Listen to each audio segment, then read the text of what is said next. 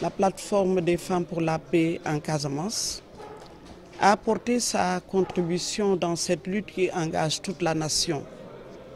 Nous avons alors élaboré une bande dessinée qui est destinée aux élèves de l'élémentaire et aux jeunes, dans le but de sensibiliser les enfants, euh, mettre à leur disposition un, un outil qui, qui va les renseigner davantage sur euh, cette maladie, sur la prévention et sur les symptômes, sur les symptômes de cette maladie-là.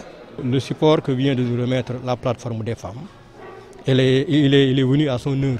Il y a plus de 150 exemplaires. Euh, chaque école élémentaire pourra en avoir. Parce que nous avons moins de 150 écoles. Chaque école élémentaire, publique comme privée, aura son exemplaire.